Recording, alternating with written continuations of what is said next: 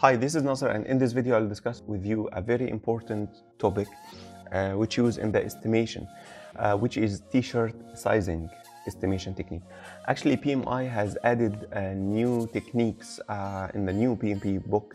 Um, you know, in the previous uh, in the previous edition of the of the PMBOK, we have some estimation techniques such as three-point estimate, parametric estimate, you know, an analogous estimate, like this. But in the new system or in the new edition of the of the PMP, they added new techniques, okay, new estimation techniques, and actually this is not new uh, because it was already used uh, in the previous uh, or uh, in the agile uh, projects. So in the agile and the Scrum uh, projects, the same techniques were used, but now PMI incorporated these these tools in the new book. So in this video, we will discuss the t-shirt sizing, sizing estimating technique. So let's go. So here you go. In the t-shirt sizing, um, it, it's used in the uh, agile projects in order to estimate the amount of work to be done. Actually, it's used uh, to, to estimate the uh, user story. And user story is uh, like group of work um, to be done by the team. So in order to do this, this amount of work, it should be estimated.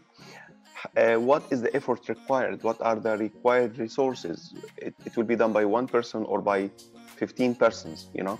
So a nice way to estimate this is to say, okay, is it X small or small, medium, large, or X large? You know, this is the way to, to estimate the, the, the effort of this work, similar to uh, as you are, you know, when, when you select your t-shirt size. You know? So uh, it, it used to uh, use this in the agile projects and when you have massive demand of the large user stories okay so you have uh, this way you have either the, the um, this work is x small uh, when you have very simple user story with no complex work uh, involved so you say okay it's x small effort. Or on the other side when uh, it, it, needs complex uh, work with lengthy tasks uh, with large number of resources so you say it's x large okay? In in between is in between.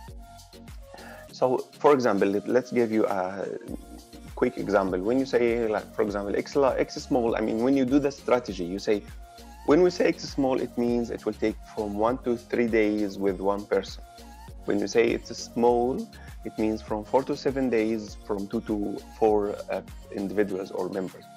Medium, one to two weeks, four to seven person. Large, from three to four weeks, seven to 12 members or individuals.